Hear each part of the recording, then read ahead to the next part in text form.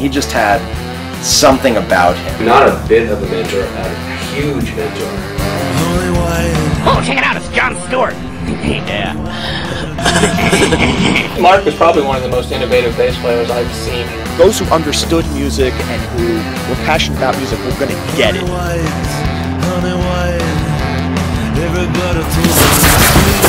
It was brilliant. He rocked it. He danced, he sang, he sweated. Oh, honey.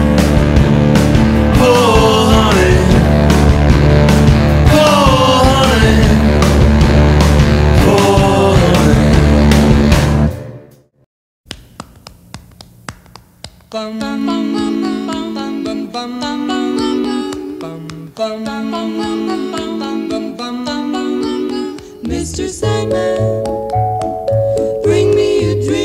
dream. Make him the cutest that I've ever seen. Give him two lips like roses and clover. Then tell him that his lonesome eyes. Could you talk a little bit about your decision to ask Mark to, to leave the house? That was one, one of the most painful things we ever ever had to do. He was not not doing anything. He wanted just to come and go as he pleased and not work and not go to school and not be productive. When he would come home, the whole family became very tense and it was um, it was uncomfortable, it was unpleasant, it was scary.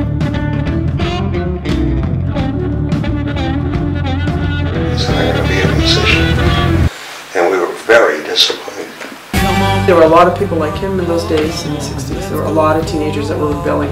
Rock music was just beginning in those days. You know, it's, it's hard to imagine, but it really was very different.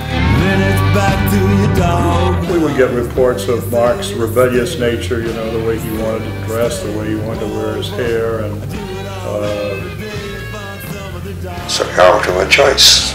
Get a job and go to work, go back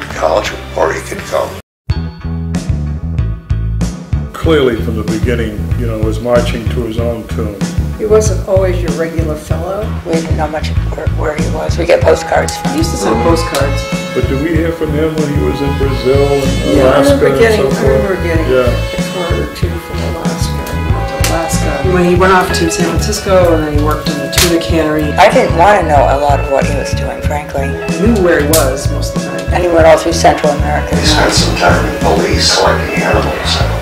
He went on further into South America through Peru and came into Brazil the back way. He ended up in this little makeshift band. And that was his first real relationship with a woman, I think. Her name was Lalu. His whole adventure was so foreign to us. And he was searching, I think, while he was doing all that. There's a lot of instruments with just one or two strings all around the world, and it's interesting because every string has every note. He began to make a name for himself as a musician. And his band was starting to really take off.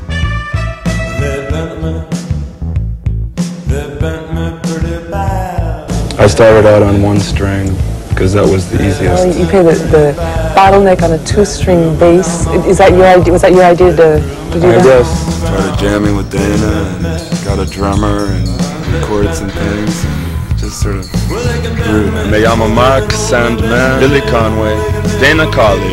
He did it. he'd be like, I'm gonna have a super hot funk band. He did it. I'm gonna do this rockabilly, this like, you know, roots rock bass. He did it. He just, it's almost like he just, it just took him a while to digest the losses maybe of his brothers.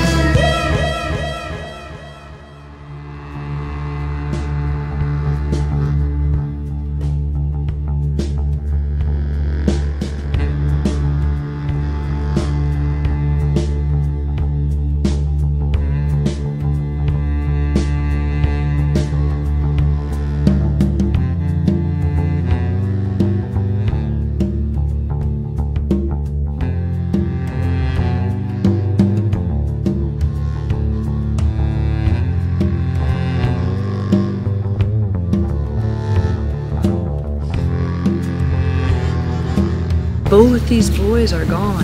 It was biblical.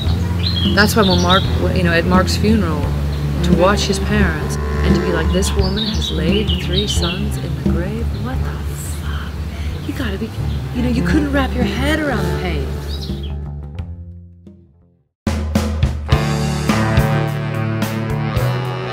When we lost Mark Sandman, you embraced us, and we will never forget what you did for us on that day. So today we come back with our children to sing, to love, and to remember. Grazie.